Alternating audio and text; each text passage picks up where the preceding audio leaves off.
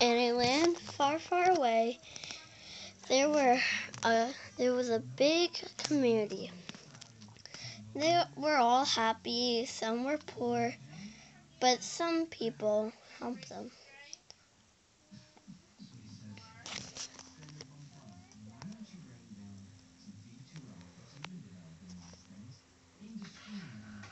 But the only thing that wasn't normal about it was there's four superheroes. There's the leader Star, the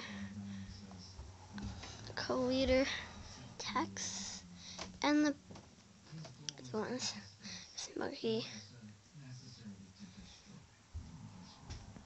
and Alex.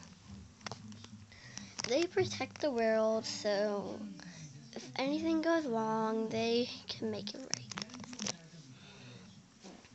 One day, they were outside talking to some people about what had been happening in the city because they travel by a magic thing, but they don't know what it is yet.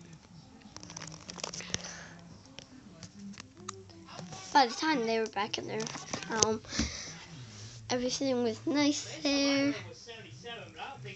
But the one thing that had, and nothing really had, was a bad guy. Which they travel and travel and travel. Sometimes it makes my head spin. But they needed to go defeat her. They didn't know what to do, so they said one day, Come on, let's go. We have to fight back to the bad and bring in the good.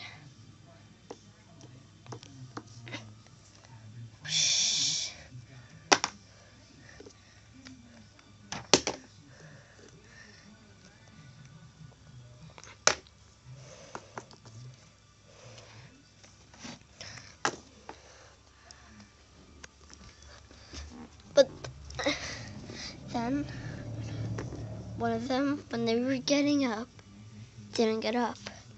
They said Tex, Tex, Tex, Tex, Tex, Tex, Tex, Tex, Tex. But she didn't wake because she was hit by power. Skunky. She was the bad one. She never ever had a friend. But she doesn't take it out on that. She takes it out on something else. The superheroes. Because they said they name they she had everybody locked up here in these little bars. But when they came to save them, she tried to hit the powder, but it didn't work.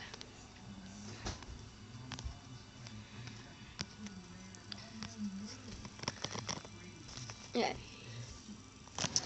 So then she walked and walked down and said, Hello.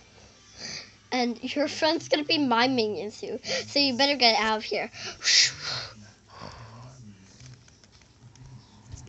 And then she woke up and said, Guys, and kicked her. And then they ran back all happily ever, forever.